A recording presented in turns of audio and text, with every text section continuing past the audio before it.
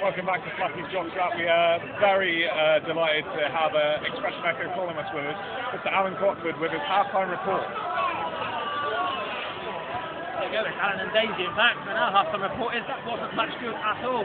Um, I think, as my brother rightly said, and it's a good observation, that um, City looked like a good side mid-trying rather than a bad side. Certainly hope.